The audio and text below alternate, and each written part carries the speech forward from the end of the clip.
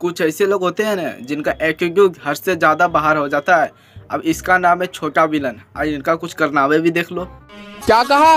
खौफ नहीं है? नशे में हो या जीने का शौक नहीं है? अबे खौफ की बात करता है। तुझे तो देख करके तो चूहा भी नहीं गिरेगा। चल निकल। के